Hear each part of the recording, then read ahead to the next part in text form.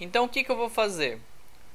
Assim como que eu fiz aqui nas configurações do H1, H2, H3, como essa aqui, eu criei o arroba fonte face, coloquei uma fonte única, coloquei a URL que vai estar tá, o endereço onde está o arquivo original da fonte, caso não tenha, e eu linko aqui com o H3. O mesmo eu faço com parágrafo. Então esse IP aqui representa o parágrafo, posso colocar ele até para o lado por questões de alinhamento. E aqui dentro eu vou colocar esse aqui, ó, fonte family, que vai linkar com esse aqui, com aqui em cima. Pronto. Então ele vai reconhecer. Se eu não tiver ela instalado, ela vai, ele vai instalar. Então atribuir ao parágrafo. Então tudo que tiver na sua página HTML tudo que tiver no seu site, que estiver dentro de parágrafo, ele vai reconhecer toda essa configuração. Isso é interessante, pois aqui você configura o texto do site, é muito importante. Então, no CSS, hoje a gente já configura a aparência todo o site e todo o texto, inclusive a fonte, a cor, o tamanho, o estilo, alinhamento, tudo por aqui. Então a gente coloca uma configuração padrão. E se quisermos uma configuração específica, às vezes para um determinado texto, a gente faz manualmente aqui dentro da tag. Então ele vai reconhecer essa configuração. Eu posso colocar aqui é, a, cor, a cor preto, né? Pronto. Tamanho, acho que 18. Com essa, vou colocar um pouquinho maior para a gente visualizar melhor, porque eu não sei como vai ficar nessa fonte. Eu vou salvar, vamos ver como ficou. Então observe o texto que está no nosso site e agora eu vou atualizar. Olha só. Olha como ficou diferente. Então ele instalou no meu computador, mesmo eu não tendo, ó, essa fonte aqui, ó. Então ela tem esse estilo, esse estilo como está na categoria dela, ó, aqui no site da fonte. Deixa eu entrar aqui na parte inicial. Então aqui do lado, é, eu achei essa categoria de escrita escolar. Então tem manuscrito, pincel. Olha só que pincel que interessante. Então você vê aqui a licença, a maioria não é gratuito para os começos é gratuito mesmo. Alguns é só para uso pessoal, você escolhe a que for melhor para você. Se quiser fazer uma doação para o autor, também tem aqui a opção. E tem aqui diversas opções. Então olha como ficou legal. Isso aqui, ó, galera, isso aqui é uma fonte instalada no site. Acreditem. E olha como ficou diferente. Então a única coisinha nessa fonte, ela tem esse risco no meio dela. Eu poderia é, baixar uma escolar, ó, se eu vir aqui, ó, escolar. E baixar uma, tem vários estilos, ó, que não tenho. Então essa eu achei ela legal, mas às vezes para você mostrar um conteúdo, ah, quero criar um site escolar que ele tem um estilo. Então, a fonte, querendo ou não, ela traz um estilo ao site.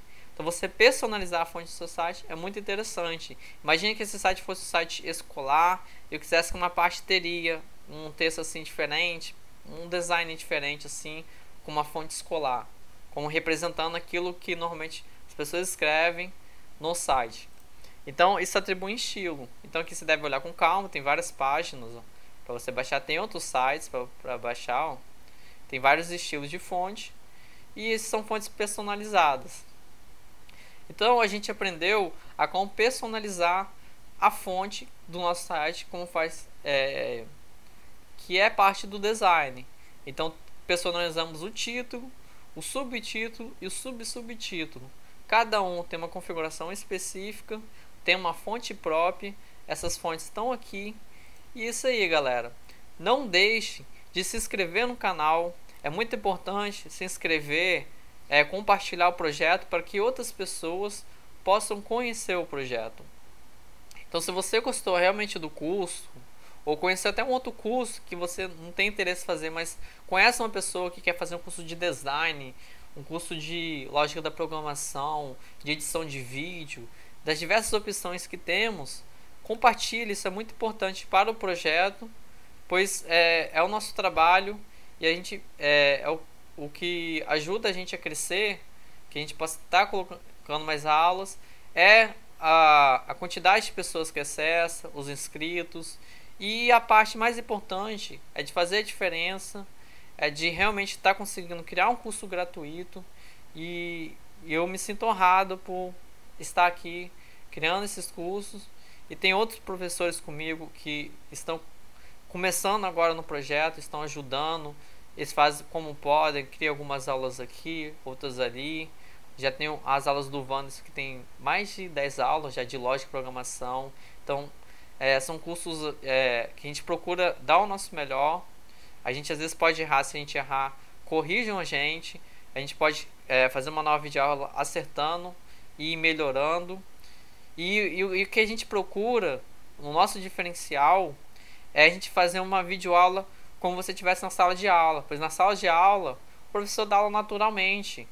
Ele chega lá, um professor de matemática, todo professor de matemática que dá aula de matemática, ele, ele erra várias vezes. Isso é normal. Às vezes por atenção, às vezes pela sala de aula bagunçada, qualquer coisa. Então, a atenção, às vezes, ah, errei esse número, ah, esse número está errado, professor. Esse aqui está errado. Ele vai lá e corrige na hora. Então, isso aqui é o mal natural. Então, na internet, principalmente de é, videoaulas do governo, certas instituições, eles fazem uma videoaula muito robótica, sabe? que vai falando que parece que eles preparam o que vai, o que vai falar exatamente sem fugir nada. Parece que tá lendo aquilo e vai ficando mostrando rápido ali com uma precisão. Até engasguei. Com uma precisão é, que até parece um robô que tá ali, entendeu? Então, o nosso diferencial é esse é uma videoaula que você se sinta como tivesse numa sala de aula com o professor ali, que o professor erra, que o professor é, sabe ver que ele está errado, que o professor é, acerta também, a maioria das vezes, né? Porque se, se errar demais também, aí, aí fica difícil da aula, né? Então é isso aí, galera. Continue assistindo as aulas, ajudando o projeto, divulgando. E boa sorte a todos. E eu desejo que vocês é, possam melhorar no, numa questão de design, de criação de site, estar olhando outras fontes e cada vez aprimorando mais, pois nós todos nós estamos aí no mundo para aprender e ninguém sabe de tudo.